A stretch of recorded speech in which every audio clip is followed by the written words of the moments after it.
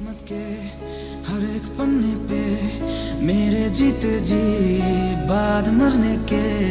मेरे हर एक कल, हर एक लम्हे में तू लिख दे मेरा उसे,